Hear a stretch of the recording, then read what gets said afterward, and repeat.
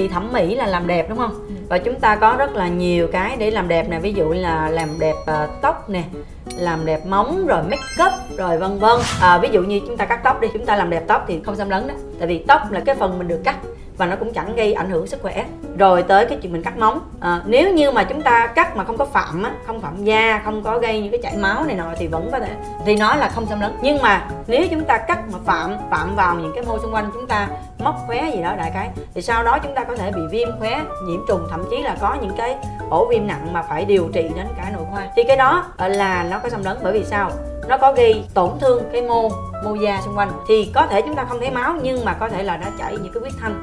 Mà cái điều này rất là nguy hiểm, bởi vì nó phải đề cập đến vấn đề là viêm nhiễm và lây nhiễm nha. Đặc biệt là lây nhiễm thì chúng ta thấy là cái người mà cắt trước chúng ta có thể là nhiễm CVB hoặc là viêm gan CVB đấy hoặc là thậm chí là HIV thì chúng ta cắt sau đó à, cũng lại bị tổn thương và cái nếu mà cái cái con vi khuẩn vi trùng virus gì đó nó còn ở trên đó thì nó có thể lây nhiễm qua cái đường huyết thanh đường đường máu nha. Cho nên cũng phải cẩn thận với cả ngay cái chuyện mình đi làm đẹp móng này còn đối với thẩm mỹ thật sự là chúng ta làm đẹp cho mặt hoặc là body á, thì đa phần đều là xâm lấn. À, ví dụ như mà cái gọi là không xâm lấn là chúng ta đi mà gọi là chăm sóc da đơn thuần ấy bấm huyệt rồi massage rồi đắp mặt nạ vân vân. Đó thì đơn thuần là chúng ta không xâm lấn. Còn nếu như ngay cả thậm chí là đi tắm trắng bôi thoa những cái thuốc tẩy trắng lên, rồi chúng ta quấn nóng gì đó đại cái đôi khi các bạn thấy không? Vẫn xảy ra sốc phản vệ.